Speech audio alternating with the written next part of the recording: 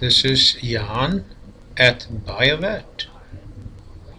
And today we're going to look at a 2002 red Camaro SS, only 13,000 miles.